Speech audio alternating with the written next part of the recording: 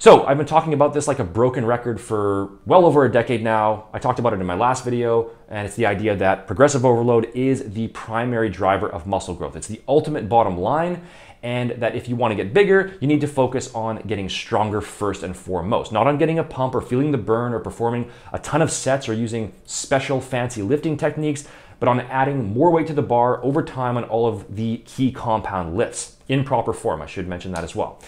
Um, there's just no way around that. Okay, a stronger muscle is a bigger muscle, and training for improved performance is the fastest way to put on size, especially if you're in the first two to three years of training.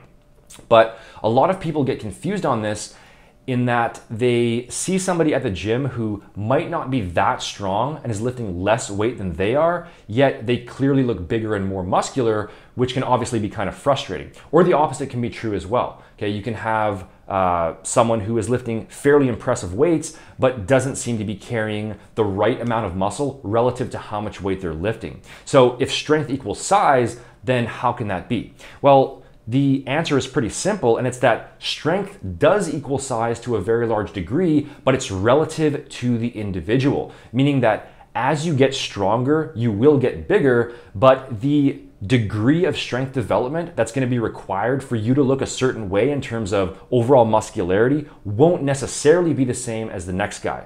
Okay, so just because you're squatting 315 pounds for reps, that doesn't mean that your legs are automatically going to be the same size as everybody else out there who's also squatting 315 pounds.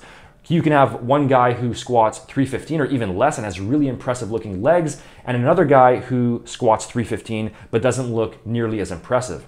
When we're talking about muscle growth, we have to be realistic and we have to acknowledge the role that genetics play in the process, which means that some people just respond faster to training and are gonna have a bigger hypertrophic response to a certain level of strength. Whereas some people won't respond quite as well and they're gonna need to spend more time developing their strength in order to reach a similar level. And aside from the overall hypertrophic response to training, another huge factor is body structure. Uh, because of factors like limb length, uh, muscle insertion points, wrist size, ankle size, uh, waist size, clavicle width, um, as well as height. Different amounts of muscle can look quite a bit different on each given person. So you could have an upper arm that measures, say, 15 inches flexed, but because of a combination of all these different factors, proportionately, it could look just as muscular as somebody else with a 17 inch arm. Maybe your arm length is shorter, which makes the biceps and triceps seem wider. Uh, maybe your biceps insert further down towards your elbow so that you have a longer muscle belly. Um, and maybe you have a smaller wrist as well, which creates the illusion of a bigger upper arm. All of those things are going to give you an advantage, and you aren't going to need to put on as much actual muscle in order to have impressively muscular looking arms. Remember that physique aesthetics are partly about your objective measurements on paper, but at the end of the day, it ultimately just comes down to how muscular you look visually. And there's a certain illusory aspect involved in that. So if someone has a more favorable body structure, they might not have to add as much weight to the bar or gain as much total muscle mass in order to achieve a certain level of visual muscularity. Um, another factor to look at is leverages. So depending on what exercise someone is performing, because of their body structure and the leverages that are involved in that lift, they might just be better suited to certain lifts. And so even though they've built up to a fairly large amount of weight compared to someone else, they might not appear as big in response to that amount of weight they're lifting as you would expect because they've already got a built-in advantage right from the get-go in that their body was just better suited to moving more weight on that particular exercise. For example, uh, you might see some guys who can deadlift quite a bit of weight but don't really look that big and again, that can be because of the way that their particular body structure is set up, right? Maybe their body structure just allows them to move more weight on that exercise right out of the gate.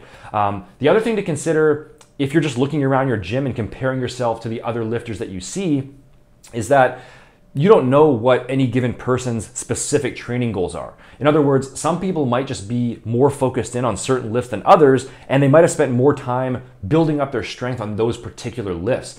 So maybe the guy with the really jacked looking physique is say deadlifting next to someone who isn't as muscular and so you look at that and you say well what's going on here i thought strength equated to size so why is that smaller guy deadlifting more weight than the bigger guy but you have to take a look at their overall training program and take everything into account, right? Maybe the first guy does a lot of heavy pull ups and pull downs and rows and shrugs and other movements to build up their back musculature, um, and they're using a more bodybuilding focused program.